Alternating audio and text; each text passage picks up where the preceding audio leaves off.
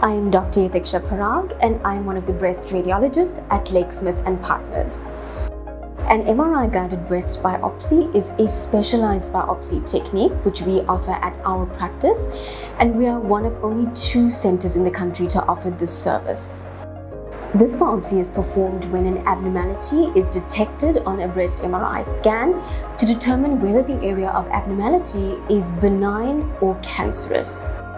On the day of the biopsy, the patient lies on her tummy and the breast to be biopsied is compressed in biopsy grids. Contrast is administered intravenously to identify the area of abnormality.